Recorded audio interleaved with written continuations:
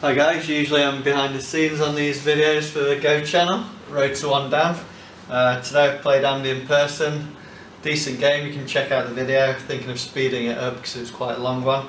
I'm going to talk through how to score um, and this is as the game was when we just finished it. What we've done is we've filled in the dames which are the areas in between each other's territory such as this one so it's nobody's point we just fill it in so it doesn't confuse the scoring. Um, and then we both pass and that's the end of the game. So these are the stones that I've killed of Andy's. These are the stones Andy's killed of mine. Now there's also stones on the board which are dead. So stones in Andy's territory of mine give him extra points and stones in my territory of Andy's give me extra points. So we take those off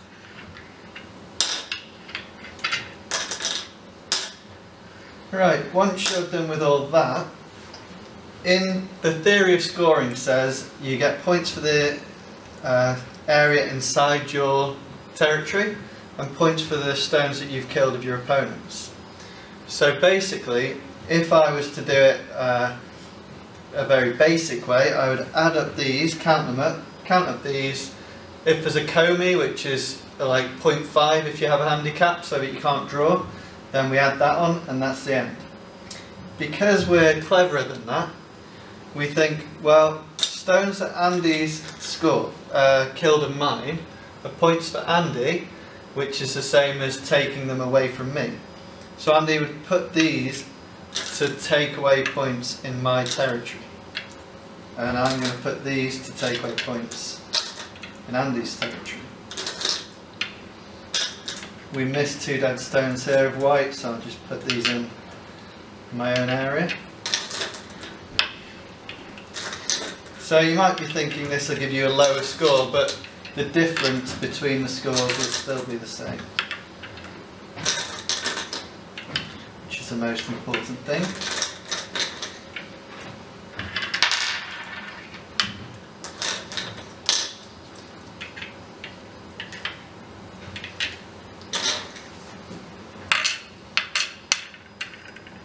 So at this point you see if you've got a high scoring or a low scoring game.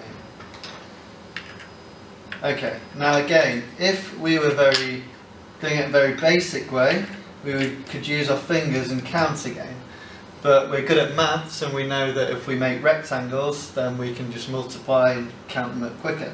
So at this point you want to make shapes in the area that you want to add up to make it easy to count.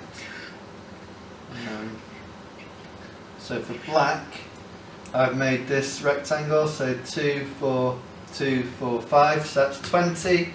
Take away 2 is 18 points.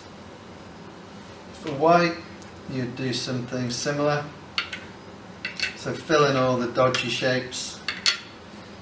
Now when I first started playing it would really confuse me when these whites were taken.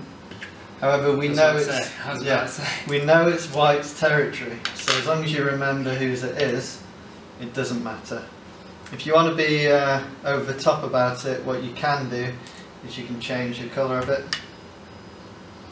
So you keep going until you get to a point where it's uh, easy to add up.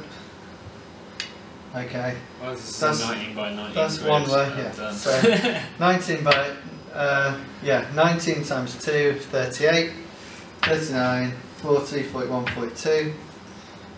3 by 4 is 12. So what does say? 42 on 12, 54 plus 0.5 Coney, komi, 54.5 to 18. So it was a decent game. Um, thanks for the game. And you could kind of see before we added up that I had a slightly more territory and I'd killed quite a lot of Andy's stones. Um, so just bear that in mind when you're playing. Where's your territory? Where's your points coming from? How many stones have you killed? And you can think about if you're ahead or behind at that point. Thanks for watching. See you soon.